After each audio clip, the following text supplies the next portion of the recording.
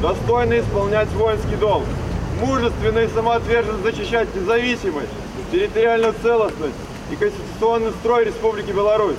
Цяжар аўтамата ў руках, лёгкае хваляванне, дрыжэнне ў голасе і стук сэрца. Такія адчуванні знаёмыя кожнаму, хто калі-небудзь прамаўляў словы ваеннай прысягі. Яе тэкст навабранцы ведаюць на памяць. Ліст у руках на выпадак, калі хваляванне ўсё ж возьме верх. Дарэчы, спраўляюцца першакурснікі выдатна. Страявы крок і паслядоўнасць дзеянняў адпрацаваны падчас заняткаў на пляцы. Акрамя таго, навабранцы прайшлі курс маладога байца, атрымаўшы ўяўленне пра тое, што іх чакае ў гады вучобы.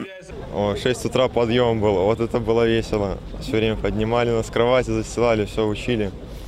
Ходили в походы. А выбор сделал я уже давно, 5 лет назад, когда мой брат только поступил сюда. Да, я вот тоже пошел за ним, но по стопам брата. Думаю, военную династию создадим.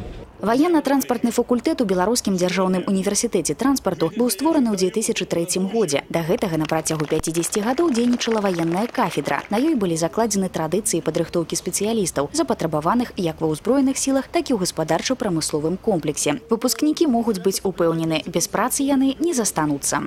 Наши курсанты уже готовы выполнить задачу, уже начиная со второго курса.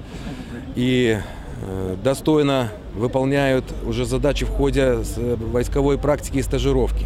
Участвуя в государственных программах, реализуют те программы, получает государство действительно значимые объекты. Но самое главное, их будет задача – это не допустить конфликтов, развязывания войн и, конечно же, мирное небо над головой.